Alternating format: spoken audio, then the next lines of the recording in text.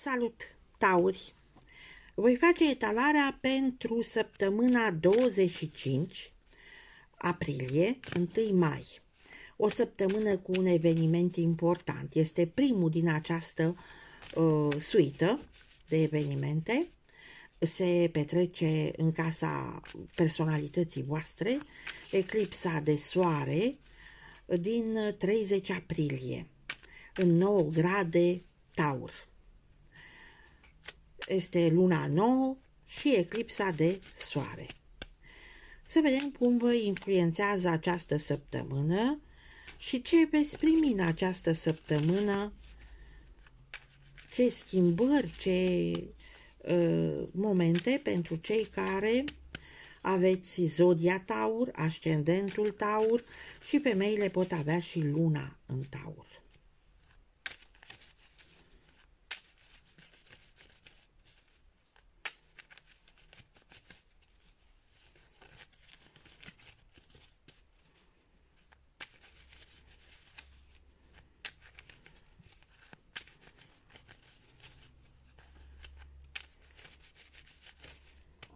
Bun, haideți să vedem.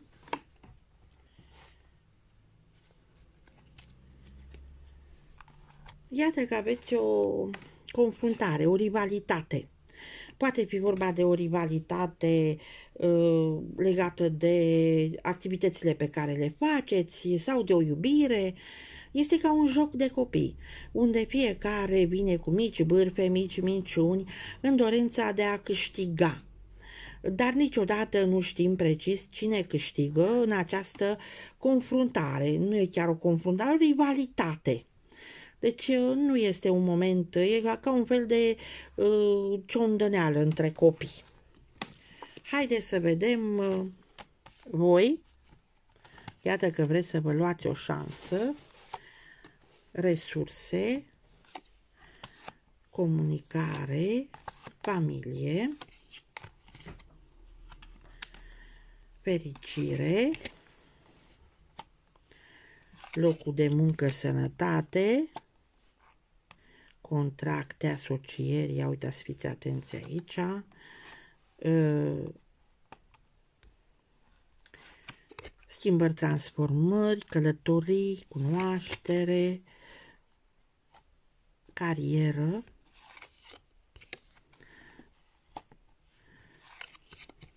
relații, și ultima, sănătate.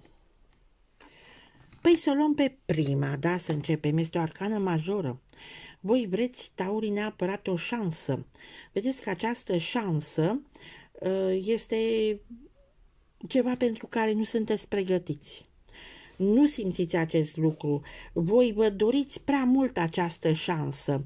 Aveți uh, floarea în mână, deci uh, acela simbol al purității, deci uh, vreți să faceți totul din suflet, fără să ascundeți lucruri, dar riscați întotdeauna, fiindcă nu vă ajută nimeni. Toată lumea vă consideră rebel, nonconformist, aventurier și acestea toate cad pe personalitatea voastră. Riscurile sunt foarte mari să întâmpinați obstacole grele sau chiar să aveți niște probleme dificile, fiindcă gândul vostru este la ajutorul din partea divinității, dar nu vedeți prăpastia deschisă în fața voastră. Trebuie să fiți foarte atenți cu acest uh, nebun. Șansa pe care o luați, fiindcă întotdeauna este omul care riscă. Și noi, oamenii, știm că mai riscăm. Fericirea este pentru voi poate să puneți ceva bani deoparte, poate unii dintre voi uh, vă pasionează speculațiile financiare, poate unii uh, vreți să aveți distracție și vă descurcați destul de bine, știți să puneți ceva bani deoparte uh, pentru a vă asigura anumite mici plăceri, să zicem, mici distracții, care v-ar face pe voi fericiți. Legat totuși de cunoaștere, de studii de lungă durată sau de examene, de concursuri, uh, de o călătorie, s-ar părea că voi vă creați niște iluzii. Dacă vă duceți la un curs, considerați că totul va merge bine, totul va fi excelent, uh, nu știu, totul va veni așa ușor spre voi, uh, dar trebuie să vă gândiți și la... Scuzați-mă. Și la uh, o călătorie, așa cum am spus, uh, vă creați niște iluzii. Uh, deci considerați totul va fi frumos, bine, uh, vă imaginați orice, vă imaginați un fel de fata Morgana. În ceea ce privește locul de muncă, s-ar părea că cineva este generos cu voi, vă oferă o șansă, vă oferă niște bănuți în plus. Sau poate să vă ofere o șansă de afirmare, să vă dea posibilitatea să fiți, eu știu, șef într-un birou sau șefă și să arătați ceea ce puteți să faceți. Vă încurajează. La rândul vostru este bine să arătați și voi generozitate față de ceilalți. În schimb, la locul de muncă, sănătatea este bună, nu aveți probleme,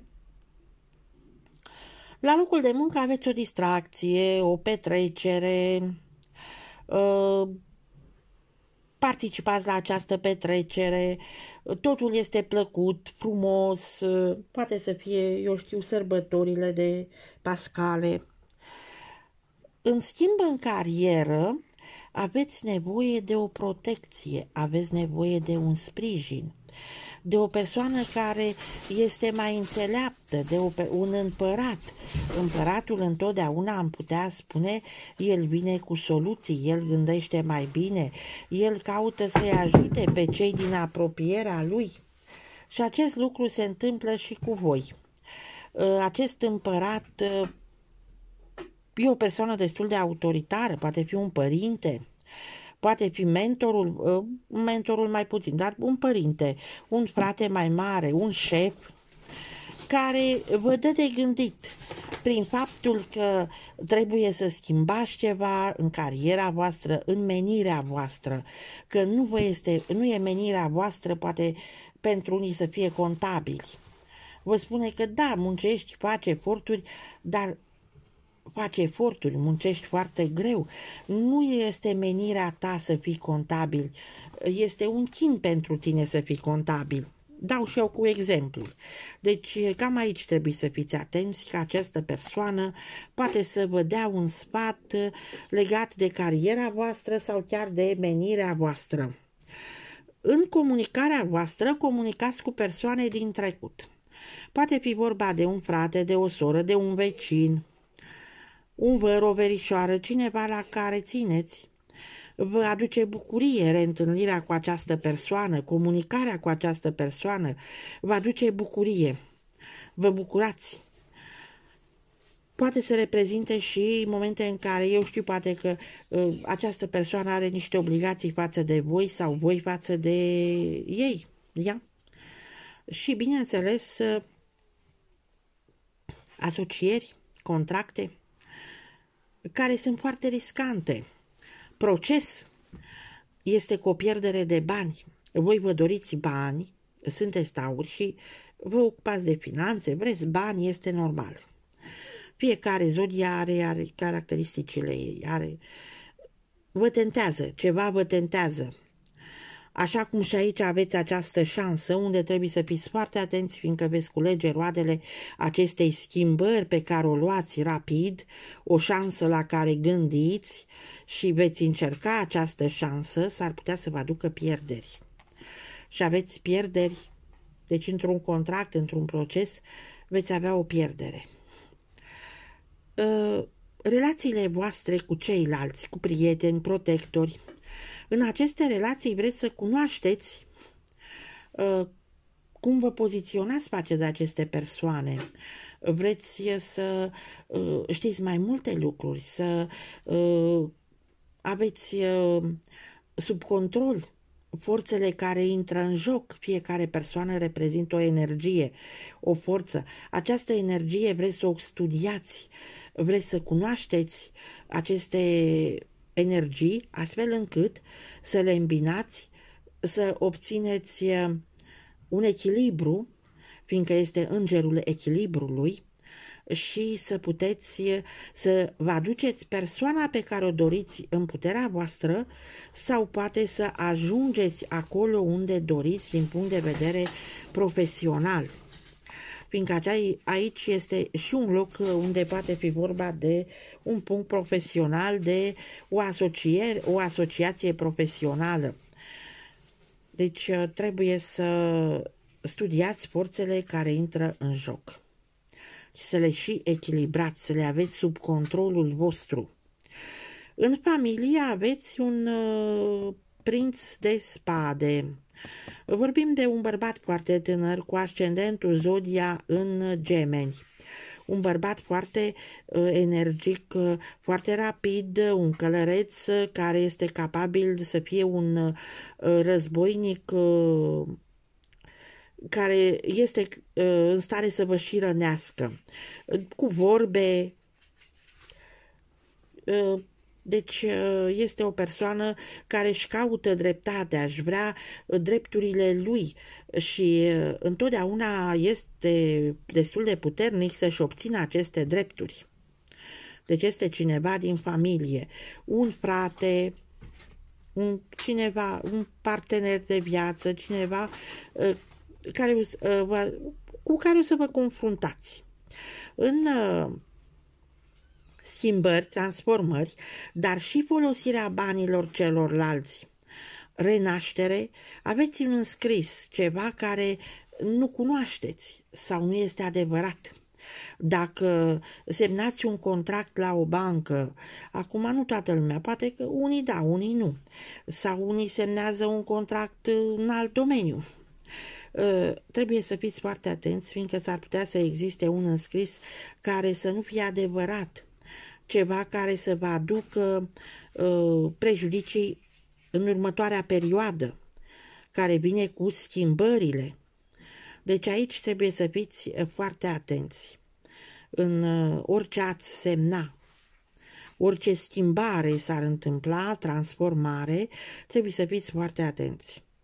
În ceea ce privește sănătatea, s-ar putea să aveți niște probleme de sănătate, voi sau altcineva, uh, dar și cheltuieli. Acest prinț de cupe poate să reprezinte o persoană tânără, dar un călăreț cu uh, ascendentul zodia în pești, dar poate să aducă și uh, pierderi, cheltuieli prea mari, datorii, poate uh, lucruri care uh, s-ar putea să vă deranjeze, să fie secrete, uh, le veți afla, dar aceste uh, mistere, o problemă de sănătate, uh, ceva care va necesita o cheltuială în plus sau pur și simplu uh, dacă aveți sunteți mai în vârstă și aveți copii, s-ar putea să fie un copil mai risipitor, care oricum este la sufletul vostru și uh, fiindcă el este un fel de curtezan, el știe să se facă plăcut și veți uh, suporta cheltuielile, că nu veți avea ce face, va trebui să acoperiți aceste cheltuieli, așa cum și aici acest celălalt prinț cu aspectul pe gemeni s-ar putea să aducă confruntări dure uh, în familie. Aceasta este etalarea pentru voi. Țineți minte că aveți aici pe personalitatea voastră o schimbare clară. Nebunul va duce o, acea uh, forță de a vrea să luați o șansă și această șansă este o șansă riscantă. Împăratul care vă spune părerea lui, dar este un berbec, un bărbat care are ascendentul zodia în berbec, care vă spune părerea lui și vă ajută. Este un ajutor unde ar trebui să-l gândiți. Și aici energia echilibrului, a studierea forțelor pentru a ține totul sub control. Eu vă doresc o lună, o săptămână frumoasă, sărbători fericite și vă mulțumesc pentru timpul acordat.